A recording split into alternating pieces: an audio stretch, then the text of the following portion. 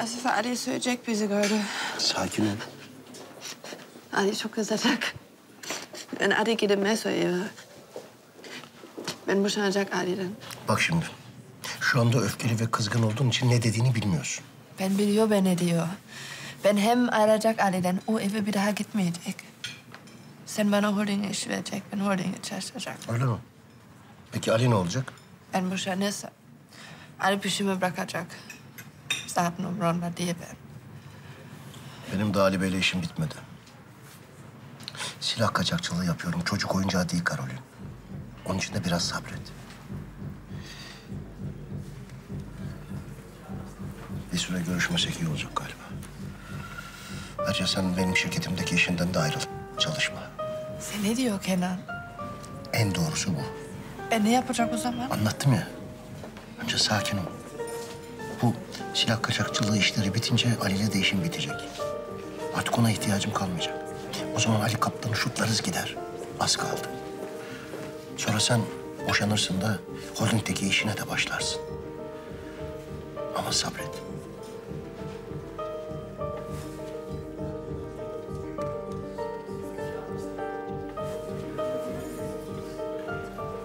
Birlikte yeni bir hayata başlarız Karolin. Ali'nin ve Selma'nın olmadığı yeni bir hayat. Ama lütfen biraz sabret. Ben ne yapacak ama şimdi? Asife arayıp söyleyecek bizi gördü. Ali duyarsa ikimizi de öldürür. Tamam işte ölecek bizi Ali. Ama öldürmeyecek. Çünkü bilmeyecek. Hasefe bizi gördüğünü Ali'ye söylemeyecek. Çünkü oğlunun katil olup tekrar hapse düşmesini istemez. O bir anne. Ancak Ancak Hasefe'den kork Karolin. O ikimizi de öldürebilir. Hasefe'den uzak dur.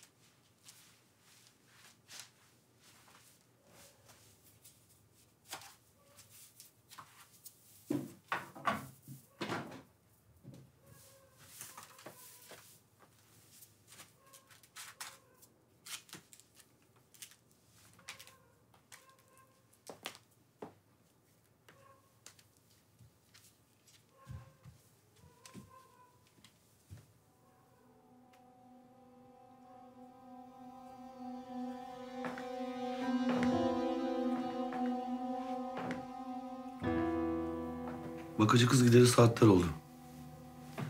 Mustafa'yı uyutana kadar canım çıktı. Sen neredesin bu saate kadar? canım çok sıkıldı. Allah Allah. Ne oldu?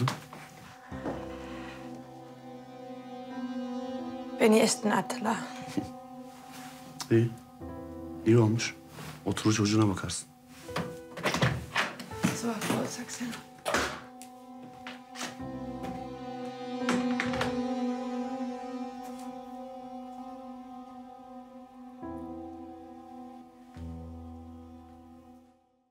Kanalımıza abone olarak tüm videolardan anında haberdar olabilirsiniz.